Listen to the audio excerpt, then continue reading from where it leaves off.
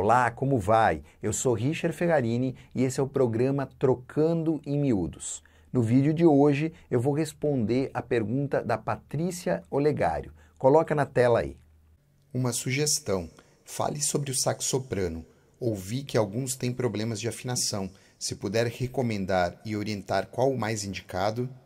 Bom, antes de mais nada, se inscreva no canal, deixe seu like se você gostar do vídeo. Isso ajuda muito ao canal, ao trabalho que eu faço aqui, tá bom? Então, deixa eu responder. Patrícia, é, primeiro eu preciso dizer que eu não tenho muito tempo de sax soprano. Faz pouco mais de dois anos que eu toco o sax soprano. Os outros sax, é, exceto o sax barítono, eu já tocava há muito tempo. Mas o sax soprano é relativamente muito recente para mim. Mas mesmo o sax alto, sax tenor que eu conheço há muito tempo, hoje a gente tem uma quantidade enorme de novas marcas, uh, maioria fabricada na China ou ali no Sudeste, no, no, na Ásia, né? Então é muito difícil a gente acompanhar a evolução dos novos instrumentos que vão surgindo. Mesmo quem é da área mais especializado, aquela pessoa que vende saxofones, ela não consegue uh, ter uma avaliação precisa de qual instrumento é melhor do que outro porque a gente obviamente não tem a oportunidade de experimentar todas as marcas que saem, que seria o ideal para fazer uma avaliação correta e precisa, né? E embasada para dizer qual saxoprano seria melhor numa faixa etária de preço. Mas o que eu devo falar para todos que têm interesse em comprar um saxoprano para começar os seus estudos é, é, o seguinte: hoje todos os instrumentos têm uma qualidade mínima, digamos assim, porque eles são imitações de grandes marcas. Então se evoluiu muito na construção dos instrumentos. O que a gente chama de instrumentos chineses que são fabricados lá é, não são mais tão, é, não são ruins como eram no início, os primeiros instrumentos.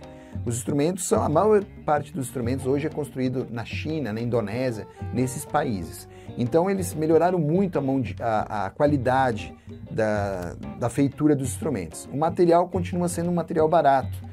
E é isso que faz os instrumentos não serem tão bons, tá? Então, qual é a dica que eu dou quando você vai comprar um instrumento? Se a gente não pode saber qual exatamente é o melhor, Pesquise o preço, veja o máximo de comentários de pessoas que já têm. Existem vários grupos, no, principalmente no Facebook, é, que você pode ver comentários ali a respeito das pessoas que têm aquele instrumento. Então, você fazer uma pesquisa durante um tempo antes de comprar o seu instrumento. Eu, quando fui comprar, eu comprei um instrumento barato e fiquei mais preocupado com a boquilha que eu ia utilizar. Isso é uma dica importante que eu quero dar a todos que compram, que querem comprar um novo instrumento. É melhor você comprar um instrumento barato e, e sobrar um dinheiro para você investir na boquilha porque é isso que vai fazer você ter um conforto e uma precisão maior na afinação, por exemplo. Você ter um conforto. O soprano, especialmente, que é um instrumento, é, por ser numa tessitura mais aguda, ele, a, a questão da afinação desafinação, ela é mais aparente por estar numa tessitura mais aguda e não exatamente por causa da qualidade do instrumento, da construção do instrumento. Então é, é importante ter uma boquilha confortável para tocar, não exagere na abertura da boquilha, isso só vai trazer dificuldades para você fazer a adaptação a esse novo instrumento. Então a dica é o seguinte: compre um instrumento e reserve uma parte do seu orçamento para comprar uma boa boquilha que não, se não for logo que você compra o instrumento, que seja nos meses subsequentes, né, que você comprou, para poder investir numa boa boquilha. Esse instrumento, por exemplo, eu tive muita sorte. Eu comprei um outro instrumento muito bom, também que eu tive muita sorte, mais barato, e, e, tive muita sorte porque era um soprano curvo muito bom, inteiraço, muito legal. Comprei usado, experimentei, gostei muito do timbre da afinação. E depois apareceu logo em seguida esse negócio. Eu nem tinha dinheiro, fiz um cambalacho para conseguir é, adquirir esse aqui, porque esse aqui era um Selmer, é um Selmer S600, não é da, da linha top da Selmer, mas é um instrumento do jeito que eu queria, com tudel inteiriço, né? Isso faz diferença na, na ressonância do instrumento. Eu estava à procura de um, de um sax soprano com tudel inteiriço, mas com valor acessível e encontrei esse instrumento que a pessoa estava vendendo um valor maravilhoso e ele estava realmente muito bom. Eu fiz uma revisão e ele estava muito legal e é o que eu estou usando atualmente. Acabei vendendo outro soprano para um aluno que está com um soprano super legal, bem legal mesmo. E enfim, Mas ambos os sax eu não investi muito dinheiro. E sim, depois fiz uma boa regulagem no instrumento e, atualmente eu comprei uma boa boquilha para ter mais conforto para tocar.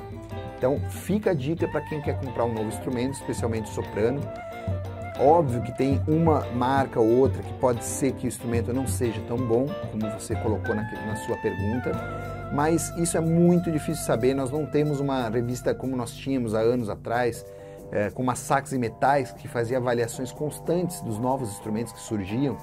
Então é muito difícil hoje fazer uma avaliação precisa. Então é essa a dica que eu dou, tá bom? Espero que ajude a qualquer um de vocês que é, pretende comprar um novo instrumento. Tá? Essa dica vale, aliás, para o sax alto, para o sax tenor, para o sax barito, para qualquer instrumento que a gente vá adquirir, que a gente vá comprar, tá bom?